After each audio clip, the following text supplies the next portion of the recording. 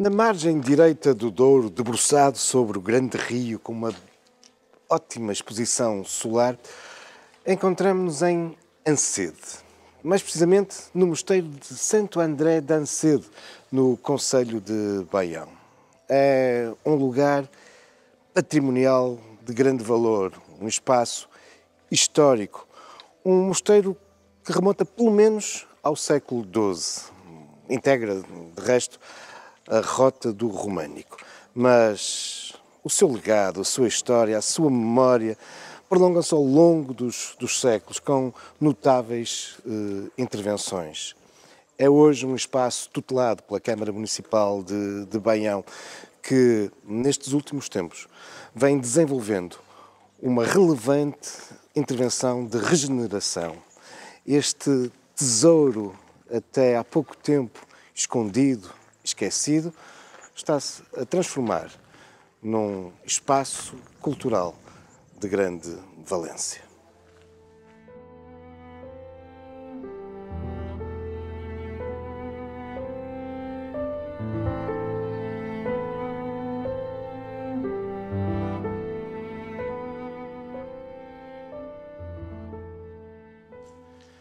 É mesmo uma arca do tesouro, esta que vem sendo aberta através desta intervenção de regeneração a que o monumento está a ser sujeito. Uma intervenção que decorre há já alguns anos e que, em boa verdade, vai se prolongar ainda durante os próximos tempos, mas tal não impede que, desde já, eh, se estejam aqui a desenvolver atividades culturais. Com efeito, é um ambicioso projeto este da Câmara de Baião de tornar o antigo e histórico Mosteiro de Ancede num centro cultural.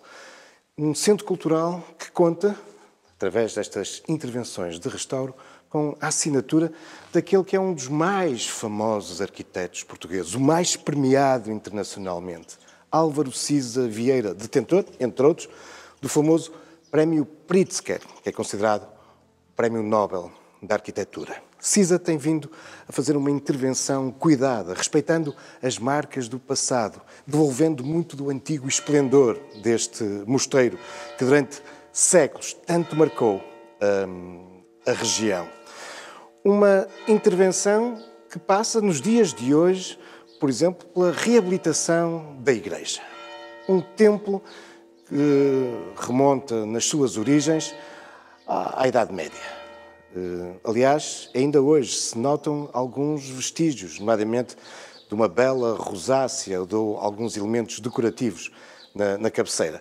Mas esse primitivo templo foi sofrendo alterações ao longo dos séculos e uma profunda na passagem do século XVII, na primeira metade do século XVIII, resultando numa igreja praticamente nova, muito mais ampla, com três naves. É esse templo que tem vindo a ser objeto de intervenção e que guarda um grande conjunto de imagens e de belas peças de arte sacra que se encontram devidamente salvaguardadas em espaços de reserva que o mosteiro hoje também apresenta e que virão a ser devolvidas ao interior da igreja.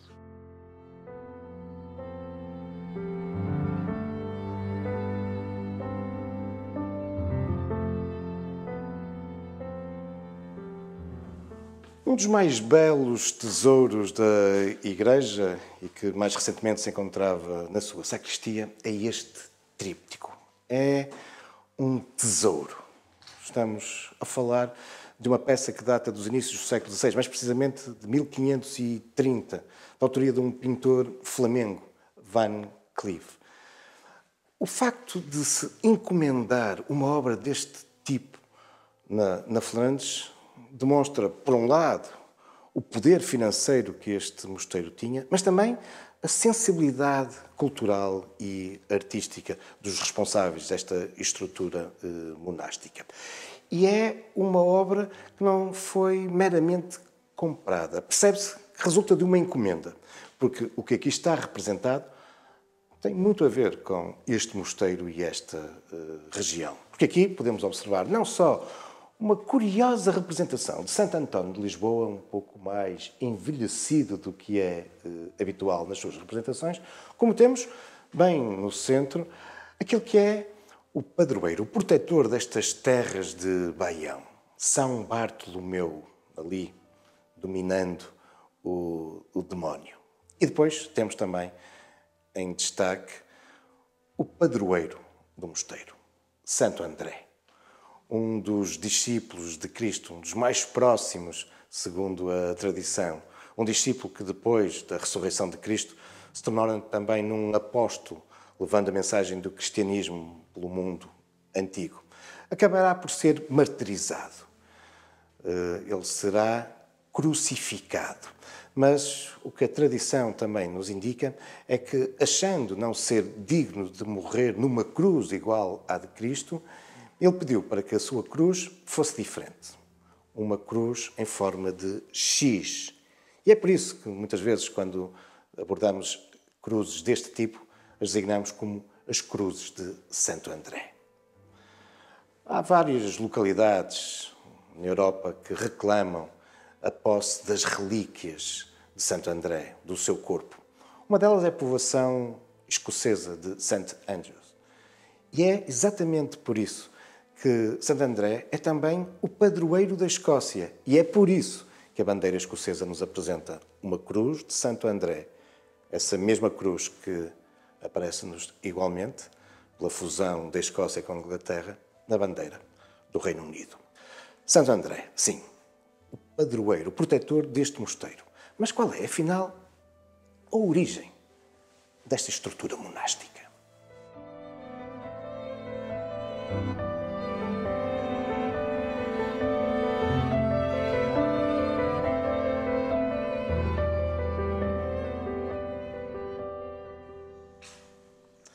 Não conhecemos com exatidão a origem do mosteiro de Santo André de Anceda. É, é muito provável que os trabalhos arqueológicos que vêm decorrendo no âmbito desta intervenção, bem assim como o estudo das paredes, onde, não raras vezes, vestígios antigos nos elucidam sobre uma melhor interpretação da forma como um monumento se foi constituindo e evoluindo ao longo dos tempos, é possível que essas investigações nos venham a lançar luzes sobre a origem do mosteiro. Por enquanto, sabemos, do ponto de vista documental, que ele já existia em 1120 e já pertencia, na altura, à Ordem dos Cônegos Regrantes de Santo Agostinho, uma ordem religiosa que tem um papel muito importante na origem da nacionalidade. Aliás, foi muito protegida pelo nosso primeiro rei, Afonso Henriques, que tem um papel crucial na afirmação daquela que é a casa-mãe desta ordem, em Santa Cruz de Coimbra, onde de resto se fará sepultar. E daí chamarmos muitas vezes os agostinhos os crúzios.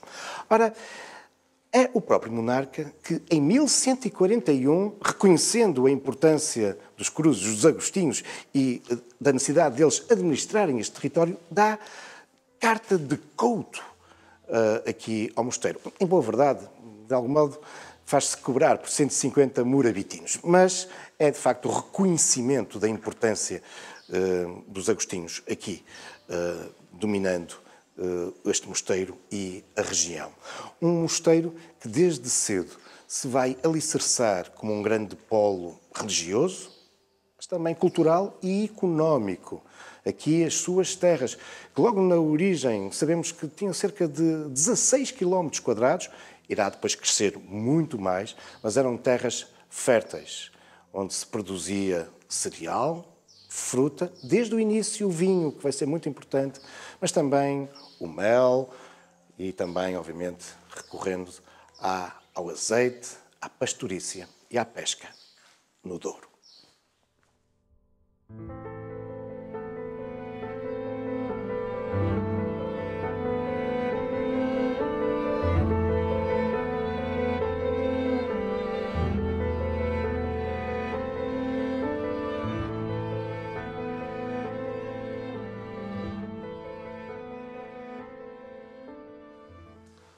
Os últimos séculos da Idade Média vão ser marcados por uma crescente importância do mosteiro de Santo André de Anceda, ampliando os seus domínios. Mas, entretanto, a ordem dos agostinhos, que, como vimos na origem de nacionalidade, é uma referência absoluta do ponto de vista religioso e, e cultural, vai ficando um pouco desregrada. Isto é, nem sempre os monges vão cumprindo as, as regras. Isso leva mesmo no século XVI a uma profunda reforma desta, desta ordem eh, religiosa, muito em torno do rei eh, Dom João III.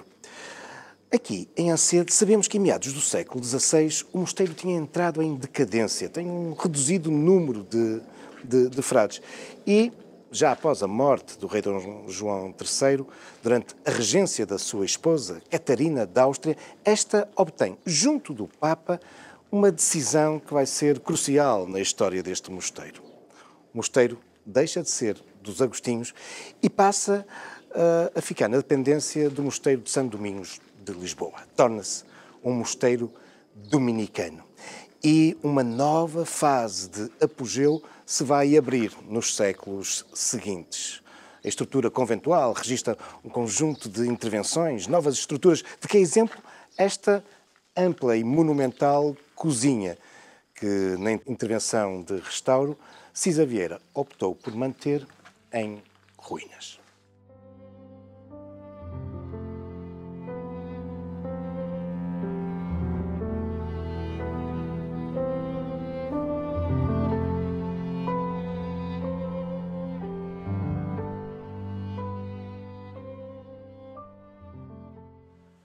São de facto muito relevantes e até monumentais as intervenções que o mosteiro registra nesse período de apogeu do século XVII e particularmente do século XVIII. Um bom exemplo é este espaço dos antigos lagares e da, e da adega, onde, entre muitas outras peças de interesse, podemos observar este túnel com os seus arcos em madeira algo muito raro hoje de observar, uma vez que, entretanto, se impuseram os, os arcos eh, metálicos. Mas, em boa verdade, a importância do vinho, da produção do vinho associado ao mosteiro, não se alicerça nessa, nessa época do século XVII, no século XVIII. Como há pouco vos dizia, desde as origens do mosteiro, que sabemos que a produção vinícola é eh, crucial na afirmação desta estrutura eh, monástica. Estamos numa região que ainda hoje é afamada pela sua produção de, de, vinho, na zona de contacto entre os vinhos verdes e também já os vinhos maduros do, do Douro. E, sabemos pela documentação que é de facto uma relevante produção aquela que aqui se fazia. Uma produção que era escoada para o Porto e entrava enfim, nos grandes circuitos do, do Douro. Aliás, o mosteiro tinha em Gaia e no Porto armazéns. E uh, este comércio é de tal forma rentável que sabemos que despertava alguma cobiça, mesmo das autoridades municipais. Sabemos de uma contenda no século XV entre o mosteiro e os responsáveis da cidade do Porto. O mosteiro teve mesmo que recorrer à decisão régia eh, e o mosteiro acusava as autoridades municipais de desviarem, de roubarem uma quantidade significativa da produção de vinho. Numa época, século XV, em que sabemos que eh, barcos de grande calado rumavam para a Flandres e para outros destinos longínquos com as pipas, com o vinho, aqui, do Mosteiro de Ancede.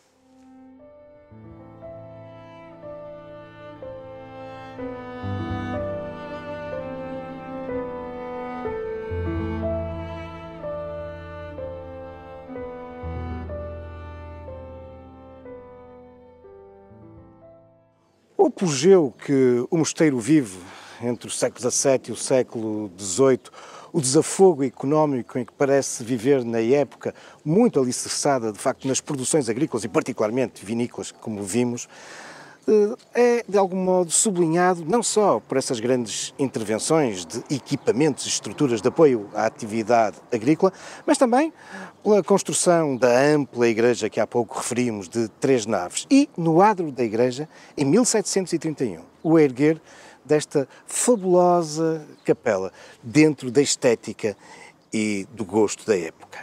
Um monumento barroco.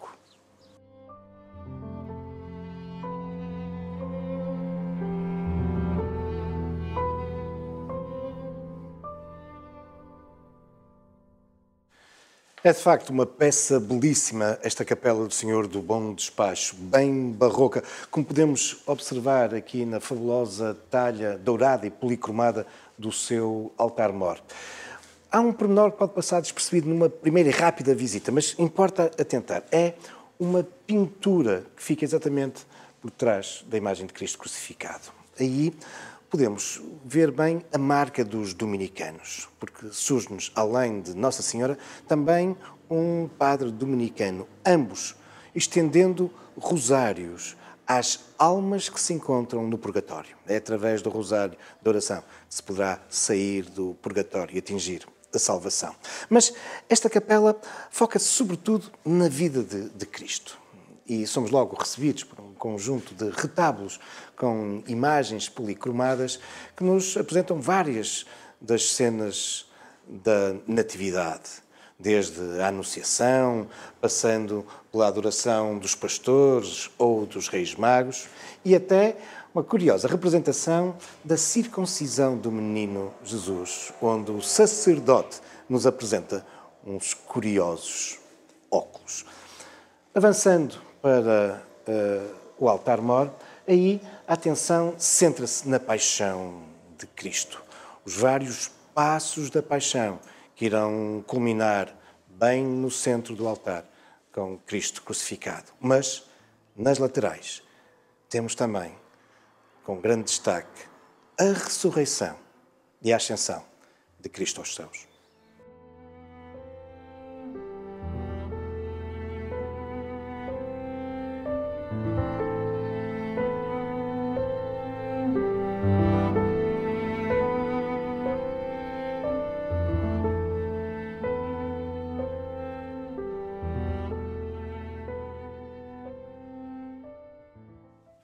1834, na sequência da definitiva implantação do regime liberal em Portugal, dá-se a extinção das ordens religiosas. O mosteiro de Ancedo, à semelhança de todos os outros, será nacionalizado e pouco tempo depois vendido em asta pública, sendo adquirido pelo barão de Ancedo, que naquelas primeiras décadas vai transformar o parte do mosteiro num colégio feminino. Mas será a decadência, a ruína, que irão caracterizar o século XX desta antiga propriedade histórica e monumental. Dessa ruína acabou por salvar a igreja e a capela, que a partir de 1932 passam de novo para a paróquia. Muito mais recentemente, o conjunto e a sua quinta passaram para a posse da Câmara Municipal de Baião, que hoje não só está envolvido na reabilitação do imóvel, mas continua a fazer a exploração, os trabalhos agrícolas na, na quinta, envolvendo funcionários municipais.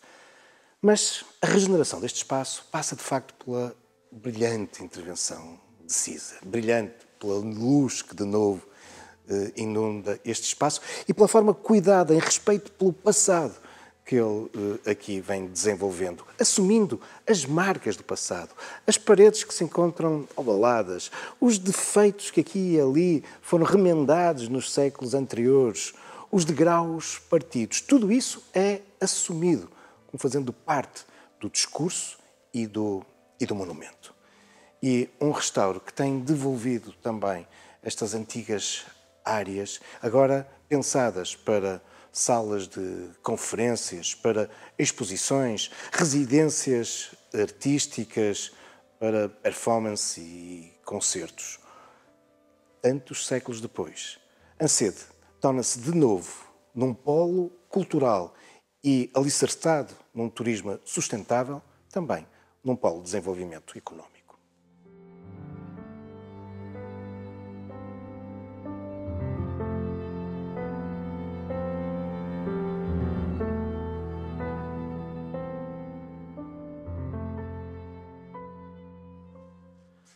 Habitual nos conventos e mosteiros, também em Santo André de Ancede existia uma albergaria, um, um espaço destinado a proteger, acolher os viajantes, especialmente romeiros e peregrinos que cruzassem este território, ou então pessoas que viessem mesmo em visita ao, ao mosteiro. Encontramos nessa antiga albergaria, que ficou também conhecida como a Casa dos Moços, e especialmente a partir do, do século XIX, quando são extintos os, os, mosteiros e os monges tiveram que abandonar esta estrutura, ficará conhecida, dizia-vos, também como uh, a Casa do Caseiro. Sabemos, pelas intervenções arqueológicas, que originalmente este era um espaço bem mais amplo. Hoje, requalificado, é um bom exemplo do potencial que este futuro grande centro cultural vai ter. Hoje em dia, abriga um núcleo de arte sacra, a coleção Dr. António eh, Miranda, um grande colecionador, natural do Conselho de, de Baião, que desde muito jovem teve a paixão pelo colecionismo e, ainda enquanto estudante de Direito na Universidade de Coimbra, se começou a afeiçoar à arte sacra, constituindo uma coleção verdadeiramente fabulosa. Muitos conhecerão a sua grande coleção de Cristos que doou à Irmandade dos Clérigos e que hoje é possível observar no Porto, nesse conjunto da Igreja, Museu e Torre dos, dos Clérigos. Aqui temos também uma notável coleção e entre muitas outras peças de estatuária, Cristos crucificados, relicários, pintura, sobressai uma imagem de São Bartolomeu e um pequeno relicário com ossos, supostamente, do santo.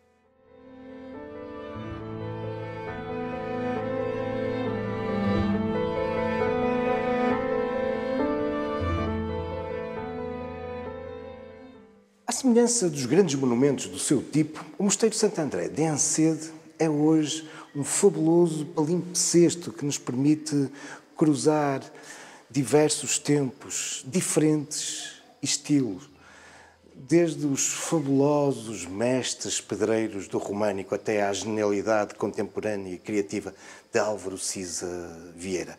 É por isso uma visita a este monumento um convite a viagens no tempo, que continuam a ser também suscitada por novos achados decorrente dos trabalhos que continuam a decorrer. Por exemplo, recentemente, no claustro as escavações arqueológicas vieram também revelar dados interessantíssimos nas sepulturas e nas estruturas que foram detectadas. Mas isso, isso são já outros factos, também algumas lendas, futuros caminhos da história.